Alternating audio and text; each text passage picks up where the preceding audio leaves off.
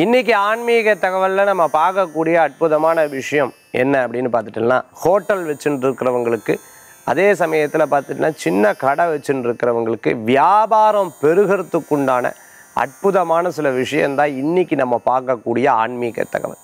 அன்னபூர்ணே சதாபூரணி சங்கர பிராணவல்லவே ஞான வைராக சித்தர்த்தம் பிக்ஷாம் தேவியும் நம்ம பார்வதின்னு மந்திரம் சொல்கிறது காசியில் இருக்கக்கூடிய அன்னபூரணி அதுவும் இந்த காலகட்டத்தில் பார்த்துட்டோம்னா அன்னபூர்ணிக்கு ரொம்ப விசேஷமான மாதம் இந்த மாதம். அதனால் இந்த மாதத்தில் ஆன்மீக தகவல் தாந்திரிக பிராயஸ்தம் சொல்கிறதுல சந்தோஷப்படுறேன். குறிப்பாக உணவகம் வச்சுட்டு ஹோட்டல் வச்சுட்டு இதை நீங்கள் பண்ணினேன்னா உங்களுக்கே வியாபார விருத்தி தெரியும். ஏன்னா அப்போ தான் அம்பாளுடைய சக்தி என்னங்கிறதையும் தெரியும் இல்லையா? இது நடக்குமா நடக்காதான்னு தெரிஞ்சுக்கிறதுக்காகவே நீங்கள் வச்சு பார்க்கலாம். இதில் அவ்வளோ விசேஷங்கள் கொண்டதாக இருக்கும். பின்னாடி அன்னபூர்ணி அம்பாளுடைய படத்தை வச்சுக்கணும். முன்னாடி ஒரு அரிசி அதாவது ஒரு சின்ன சொம்பில் முழுசாக அரிசியை நடித்து அதன் மேலே அன்னபூர்ணி அம்பாளுடைய விக்கிரகத்தை வச்சுக்கணும்.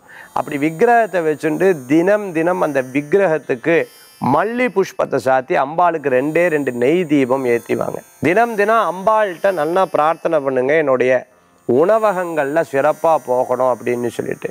இந்திர அன்னபூர்ணியை நமக அப்படிங்கிற நல்ல பிரார்த்தனையை மந்திரத்தை சொல்லுங்க. இந்திர அன்னபூர்ணியை நமக.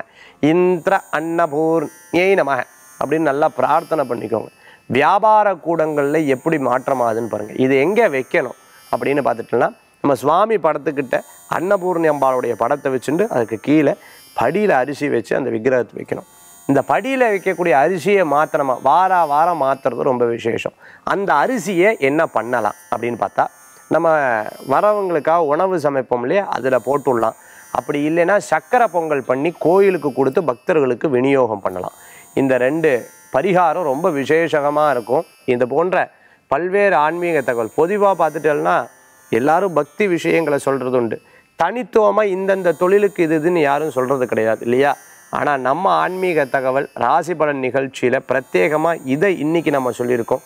இது போன்ற ஒவ்வொரு நாளும் ஆன்மீக தகவல் நம்ம சந்திக்கும் வரை உங்களிடமிருந்து விடைபெறுவது ஜோதிஷாச்சாரியா ஜோதிஷ கலாரத்னா மகேஷ் வேல்வேல் முருகா வெற்றிவேல் முருகனுக்கு அரகரோகரா நன்றி.